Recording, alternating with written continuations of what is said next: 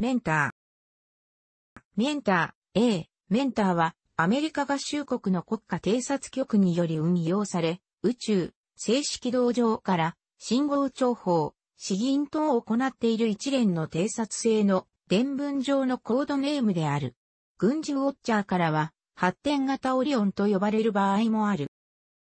2013年8月30日にワシントンポスト紙は、エドワード・スノーデンがリークした資料の中に含まれていた、米国政府の諜報プログラムの2013会計年度予算の米国議会への予算説明書から、今まで謎に包まれていた、米国の諜報活動に関する新たな事実が判明したと報じた。この資料の中には、複数のスパイ衛星の名称が記述されており、この衛星に該当する衛星の正式名称は、オリオンであることが明らかになった。このリーク資料の一部はで閲覧可能である。メンターはアメリカ中央情報局からの資金供給で開発され、1995年から2003年までに3機がケープカナベラル空軍基地、ケープコナバール AFS、フロリダ州ケープカナベラルからタイタ4、またはタイタン4、B ロケットを使用して打ち上げられ、上段に追加されたセントールロケットによって静止軌道に投入された。2009年1月には4号機がケープカナベラル空軍基地からデルタ4ロケットのヘビータイプを使用して打ち上げられている。これらの衛星は静止衛星軌道で地上からの電波放射を収集する資銀と衛星であり、より古い衛星網の代替の役割を演じている。軍事ウォッチャーたちは、タイタン 4B、セントールロケットの静止軌道への衛星投入能力から考えて、衛星の質量は5、200kg 程度であり、直径100メートル程度に達する非常に大きな電波反射アンテナディッシュを持つと見積もっている。この巨大なアンテナディッシュは細い金属製ワイヤーの網でできており、打ち上げ時は折りたたまれて衛星本体とともにフェアリングに収納され、宇宙空間で展開される。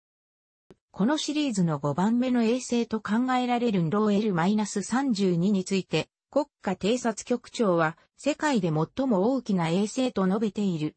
このゲームはアンテナディッシュの直径が100メートルをかなり上回っていることを意味しているのではないかと考えられている。これらの衛星の任務と能力は高度な軍事機密である。同様な任務を持った初期の衛星であるシリーズは TRW 社によって製造されたが、メンターの製造者は明らかにされていない。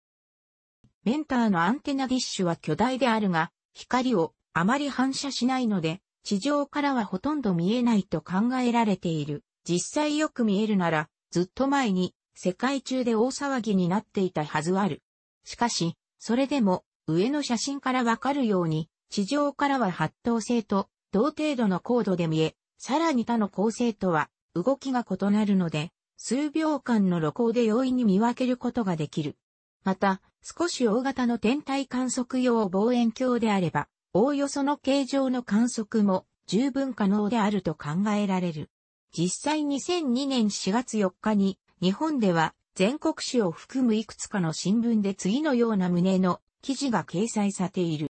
日本スペースガード協会は2001年12月に同協会の美星スペースガードセンター、岡山県美星町の1メートル望遠鏡で統計120度付近、インドネシア上空の静止軌道上にある直径50メートル前後の巨大な物体を発見した。この物体は北アメリカ航空宇宙防衛司令部の衛星公開リストには掲載されていない。位置が全くずれないことから、常に軌道制御されていると考えられる。これほど巨大で、2002年の時点で常に軌道制御されているとすれば、この物体はメンターかその前任のマグナム、オリオンの一機である可能性が高いと考えられる。大きさについては、上の記述、直径約100メートルと矛盾するが、観測できたのは大きな衛星の一部分、光を反射しやすい部分のみであり、衛星自体はもっと大きい可能性がある。なお、直径1メートルの望遠鏡で観測できたので、あるから、天文台などが有する直径数メートルの望遠鏡であれば当然観測可能なはずだが、これ以降の確認情報については報道がなされていない模様である。リストオブサテライトローンチス。楽しくご覧になりましたら、購読と良いです。クリックしてください。